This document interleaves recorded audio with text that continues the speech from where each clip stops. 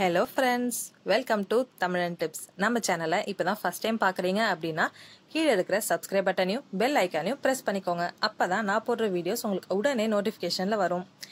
அனைவருக்கும் விநாயகர் சதுர்த்தி வாழ்த்துக்கள். எல்லாரும் நல்லா செலிப்ரேட் பண்ணியிருப்பீங்க அப்படின்னு நினைக்கிறேன். நாங்கள் இன்னைக்கு விநாயகர் சதுர்த்தியை இந்த மஞ்சள் விநாயகர் வச்சு தான் அருமையாக செலிப்ரேட் பண்ணோம். எக்கோ ஃப்ரெண்ட்லி அண்ட் லாக்டவுன் ரீசனுக்காக இந்த மஞ்சள் விநாயகர் நாங்கள் செஞ்சோம். அதோட செய்முறையை ஒரு சின்ன சாம்பிளில் இப்போ பார்க்கலாம் நம்ம. இதோட ஃபுல் வீடியோ வந்து நான் உங்களுக்கு டிஸ்கிரிப்ஷன் பாக்ஸில் லிங்காக தரேன். ஸோ நீங்கள் எப்படி செய்யணும் அப்படின்றத பார்த்துக்கோங்க நெக்ஸ்ட் டைம் பண்ணும்போது நீங்கள் இந்த மாதிரி நம்ம வீட்லேயே செய்யலாம். ஸோ வீட்லேயே செய்கிறதுனால நம்மளுக்கும் ஃபுல்ஃபில்லாக இருந்தது இந்த விநாயகர் சதுர்த்தி. பாருங்க நான் இந்த மாதிரி தான் இன்றைக்கி செஞ்சேன். நல்லா அருமையாக வந்திருக்கலையா உங்களோட கமெண்ட்ஸை என்கிட்ட ஷேர் பண்ணிக்கோங்க எப்படி இருக்குது அப்படின்றத. இன்னைக்கு நம்ம விநாயகர் சதுர்த்திக்கு ரைஸ் கீர் எப்படி செய்யலாம் அப்படின்றத பார்க்கலாம் அதுக்கு நான் வந்து பாஸ்மதி ரைஸ் இரநூறு கிராம் எடுத்திருக்கேன். அரை லிட்டர் பால் இரநூறு கிராம் சர்க்கரை நட்ஸ் வந்து உங்கள் தேவைக்கேற்ப எடுத்துக்கோங்க. இப்போ பாலை நல்லா சூடு பண்ணிக்கோங்க.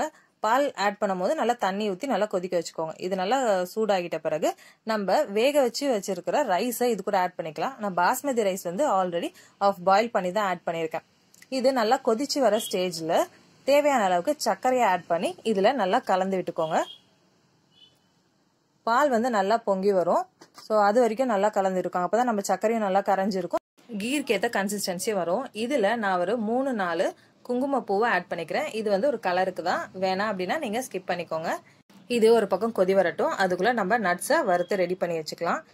நட்ஸும் இப்போ ரெடியாக இருக்குது நம்ம பாலும் ஓரளவுக்கு நல்லா சுண்டி ரெடியாக இருக்கும். இதில் மணத்துக்காக நம்ம ஏலக்காயை ரெண்டு மூணு தட்டியை போட்டுக்கலாம். அதுக்கப்புறமா ஃபைனலாக நம்ம ரெடி பண்ணியிருக்கிற நட்ஸை இது கூட ஆட் பண்ணிக்கலாம். நட்ஸை ஆட் பண்ணி கலந்து விட்டோம் அப்படின்னா நம்மளோட ரைஸ் கீர் வந்து அருமையாக ரெடி ஆகிடும் இது வந்து டேஸ்ட் வந்து சூப்பர் அவசரமாக இருக்கும். இது வந்து எனக்கு ரொம்ப பிடிக்கும். கேரளா ஸ்டைலில் இதெல்லாம் செய்வாங்க. ஸோ இந்த ரைஸ் கீரை வந்து நீங்களும் ட்ரை பண்ணி பாருங்கள் ட்ரை பண்ணிவிட்டு உங்களோட ஃபீட்பேக்கை என் கூட ஷேர் பண்ணிக்கோங்க. இன்னைக்கு விநாயகர் சதுர்த்திக்கு நாங்கள் இன்னைக்கு ரைஸ் கீர் தான் செஞ்சு சாமி கும்பிட்டோம்.